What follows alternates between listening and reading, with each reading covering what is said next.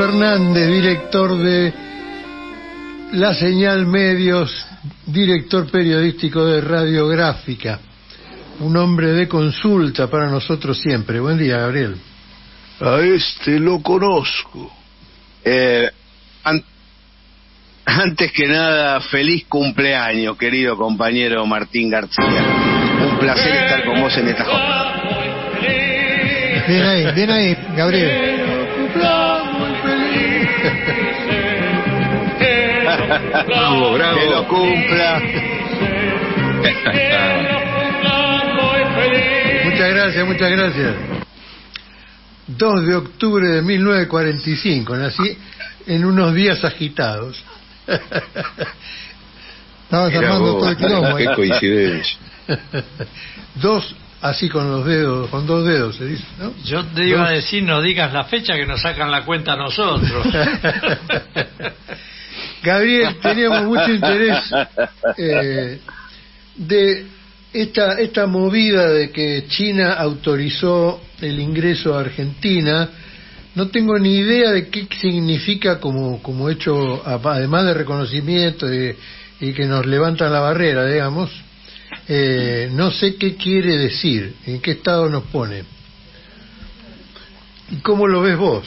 Bueno, el BRICS es, el BRICS es eh, de algún modo el, futuro de las potencias multipolares coaligadas, ¿no? Es decir, fuerzas que eh, tienen recursos naturales, que tienen know-how de la población, que tienen un espacio geográfico apreciable y que necesitan comerciar mutuamente, intercambiar infraestructura, conocimientos técnicos e inversiones de modo soberano, sin intermediación de las potencias del norte, de las potencias hegemónicas hasta el presente.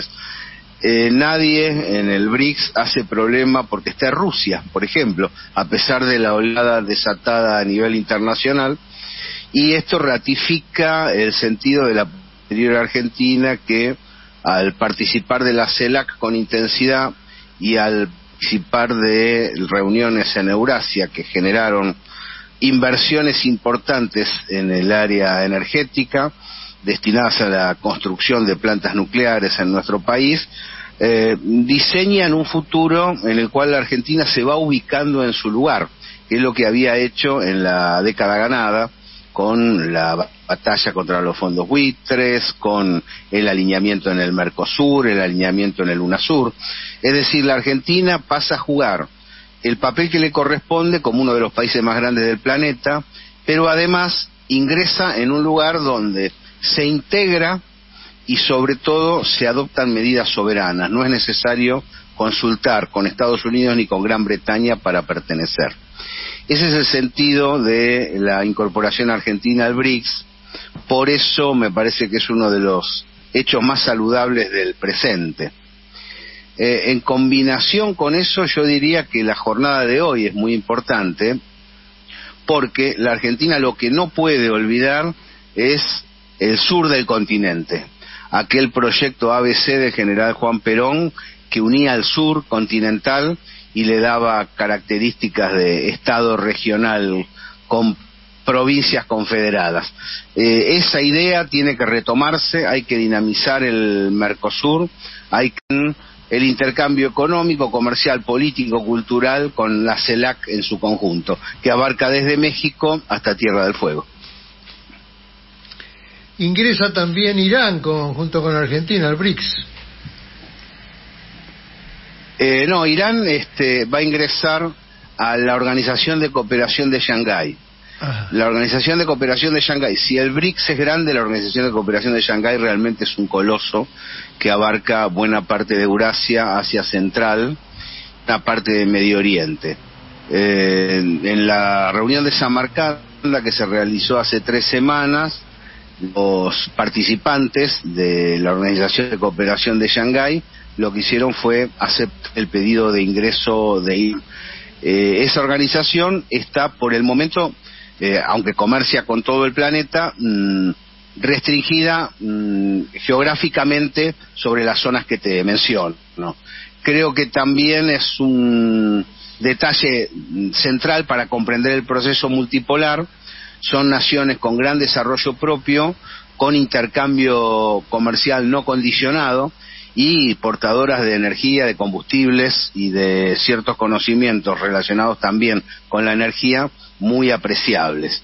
Eh, también eh, Irán eh, llega a esa coalición muy fustigado, muy cuestionado internacionalmente, lo cual le brinda un aire realmente significativo y al mismo tiempo, junto con el resto de las naciones asiáticas, puede confluir para generar mayores obras de infraestructura, mayores inversiones y un desarrollo apreciable como el que tiene, gracias también al bueno al respaldo de su pueblo para con la revolución y el desarrollo científico técnico que ha logrado en los últimos años.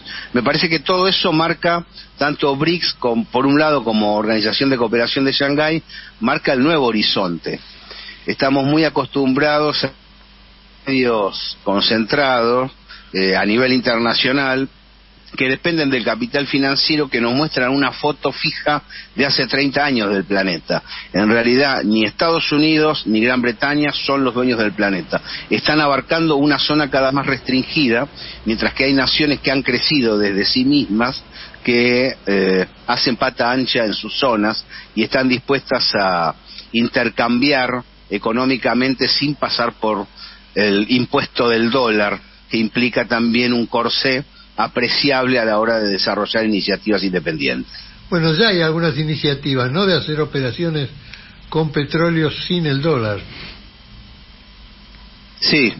Por un lado, eh, cuando se sacó del SWIFT, de la intercomunicación financiera a Rusia, eh, lo que se puso en marcha es algo en lo que ya se venía trabajando y era Irán el eje, una intercomunicación financiera asiática que tuviera la puerta abierta para Europa. De hecho, muchos europeos la, usan para comunicarse comercialmente con naciones que están vedadas por, por el centro capitalista.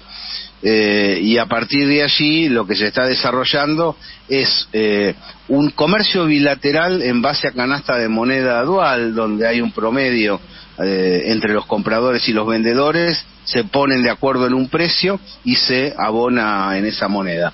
En general, las monedas que más eh, dinámica tienen en, Eurasia son el yuan y el rublo. Claro, Rusia y China. Eh, mucha gente se olvida o no llega a percibir que Irán era el imperio persa, la cabeza del imperio persa uno de los imperios más importantes de su época. Así es, hace eh, un mes aproximadamente vino India a la Argentina, el representante eh, indio, o hindú, como le decimos nosotros, pero ahora cambiaron las denominaciones, eh, para solicitar el ingreso argentino a, mm, al BRICS. y un amigo me decía, hay gente que cree que los indios son este, flacos que comen clavos, ¿no? Y trabajan de fakir. En realidad, India es una potencia significativa, multitudinaria por un lado, pero con niveles de producción muy, muy apreciables, con un PBI creciente de manera permanente. ¿Cuál es la eh, característica de todas estas naciones que estamos mencionando, Martín? Y básicamente que en lugar de estar gobernadas por el capital financiero, han apostado por la inversión productiva y un fuerte rol de los estados, ¿no? Eh, creo que eso es lo que marca la diferencia entre las potencias multipolares y las potencias financieras previas. Las potencias financieras a las que estamos acostumbrados eh, han cometido uno de los errores que creo que era inevitable debido al sistema que llevan adelante, y es aplicar puertas adentro los planes de ajuste que le imprimían al tercer mundo y a la periferia en general. Esto se observa en Estados Unidos. Según el amigo Walter Formento, Estados Unidos, eh, hoy, lo, vamos a publicar eso en la fuente segura, Estados Unidos está una guerra civil, porque lo que hace el capital financiero es absorber las riquezas sociales y canalizarlas para el salvataje de los bancos y para las organizaciones de mercenarios y las y las armas que llevan adelante. Eh, eh, esto genera desempleo, genera inflación, genera baja recursos sociales y genera un Estado que, como se observa por las acciones de la Reserva Federal, queda al servicio del capital financiero. Lo que ha hecho Rusia, lo que ha hecho China, lo que ha hecho India, lo que en general ha hecho Irán, eh, la mayor parte de las naciones que hemos mencionado es posicionarse como estados e impulsar eh, la producción de bienes de producción y consumo, la producción material y no de papeles ni de cuentas de Internet, que son las características básicas del capital financiero. Eh, dos cosas eh, antes de dejarte ir, Gabriel. Una. Eh, no hay problema, al contrario. Este. Una, todavía mantienen alta la fe con Gimnasia y Grima La Plata, ¿no? Lo dejaste mudo. Yo creo que se complicó, hubo, hubo tres partidos ahí que se nos complicó un poquito, lamentablemente. Estamos contentos con la campaña, un presupuesto muy bajo y este, muchos jugadores lesionados en comparación con los grandes que gastan. Ahí tenía la cuenta el triple que lo que gastamos nosotros en jugadores. Eh, y bueno, pero siempre feliz de, ser de gimnasia y de, y de cinchar en el bosque todas las veces que puedo. Pero lo tienen a Pipo Gorosito, que es una maravilla. Fenómeno. El peor está estudiando. Fenómeno, Pipo. La verdad que armó un equipo bárbaro. Sí, además le mandamos al Pulga para que le haga goles, así que... Les hizo el favor claro, Tinelli que no que venir a San Lorenzo. y bueno... Gabriel, siempre es un gustazo tenerte, sos un una referencia para nosotros muy importante. Sos un gran lector de, de la política internacional, igual que Walter, que lo citabas. Así que eh, para Peretti que se va y para vos, pues les voy a dedicar un tema, ¿eh? porque este, como peronistas tenemos una posición en el mundo y este tema es, eh, se llama Doctor Getulio y está dedicado a Getulio Vargas, aquel gran, aquel gran presidente brasileño con quien Perón quiso hacer sociedad, igual que con Ibáñez del Campo en Chile, para iniciar lo que ahora se llama UNASUR o CELAC. Así que muchísimas gracias, feliz Juan Domingo. Vos sabés que eh, me encanta, me encanta Martín que, que digas eso, ¿eh? porque de todo esto que estamos discutiendo, del posicionamiento de otras naciones, no hay que olvidar que la idea nació acá. Uno de los focos que irradió la idea de la tercera posición, que se llama multipolaridad, fue la República Argentina de General Perón. Así es. Sí, señor. Gracias, Hernández, bien. Que se sumó Nasser, que se sumó eh, Tito. Neru. Este, Nerú.